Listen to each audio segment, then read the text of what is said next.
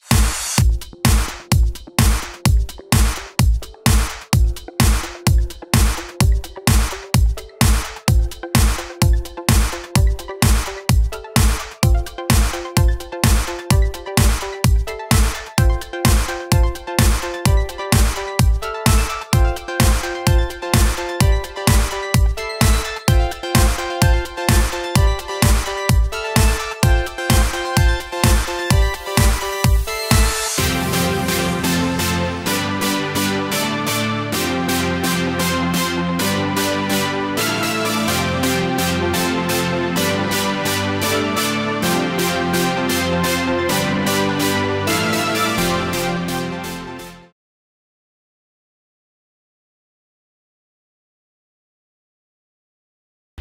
I was never really turned up to high school, so I left high school with no qualifications. I started anew when I got to New College.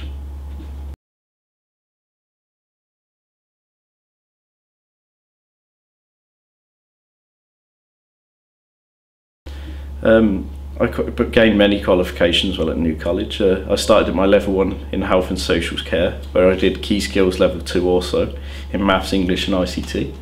I did a level two diploma in applied science, which I also did my functioning skills with in maths, English, and ICT at level two.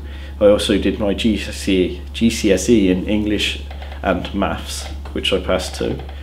And then I progressed on to my level three applied science, which I did an extra unit in physics to help me to get to university. And I also did an extended project in these years.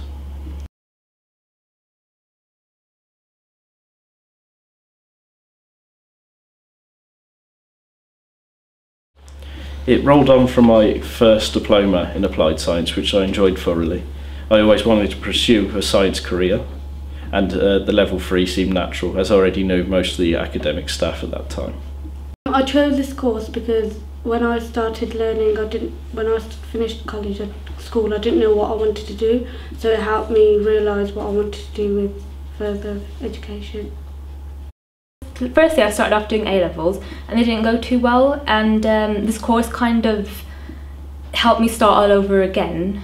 Um, and it kind of it's a good thing that I did it because it kind of changed my mind as the what I wanted to go into. Because um, I first wanted to do optometry but then I decided I'm more of a chemistry person so it seemed like a better choice now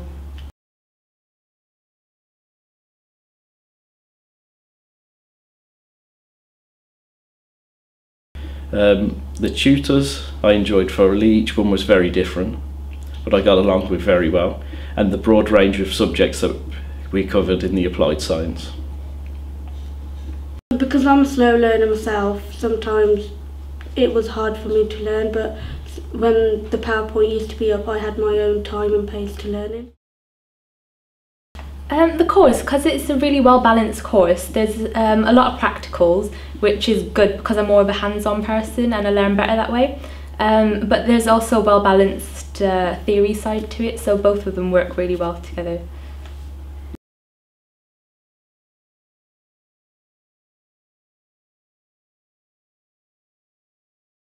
I'll be going to Aberystwyth University for four years to do my Masters in Physics hopefully I'd like to go to uni and start doing biomedical science there and that's it. Um, hopefully when I finish I'll go on to university and study pharmaceutical chemistry.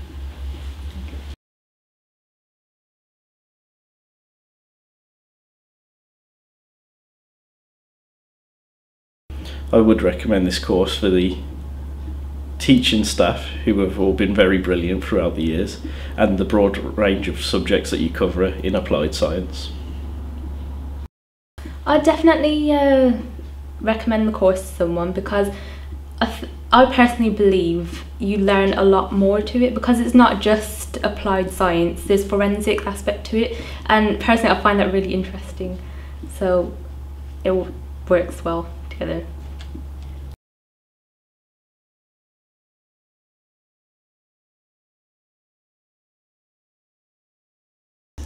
In five years I see myself studying for my PhD in an area of physics. Um, not sure of what part physics so far. Finished my uni and then working in a lab, hopefully. Five years' time, I hopefully will have secured a job in the pharmaceutical industry and on my way to success.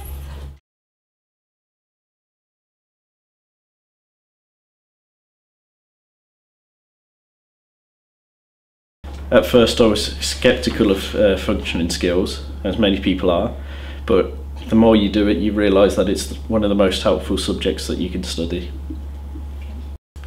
It is very important when you go to uni because you need English and maths for every as- aspect of your life. Like whatever, whatever you do, you need English and maths, so it's very important. I think they are really important, but um, in aspect of the course, I do think it helps you because it's a lot of assignment work, and then that kind of helps your functional skills develop.